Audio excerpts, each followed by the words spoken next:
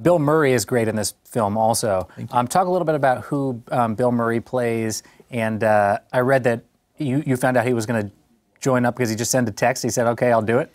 He, yeah, uh, he did. He, you know, Bill is very mysterious the way he, um, or not so mysterious, very matter of fact. You know, he doesn't have an assistant, he doesn't have an agent.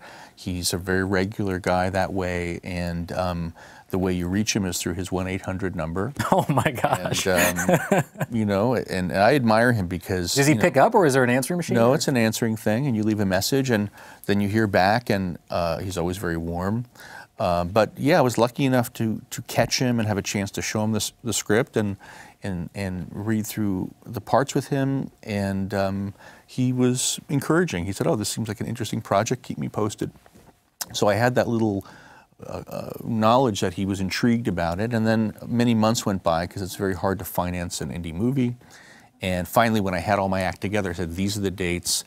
uh, is there, you know, can we work it out? And I waited and I did get a text saying, I'll be there.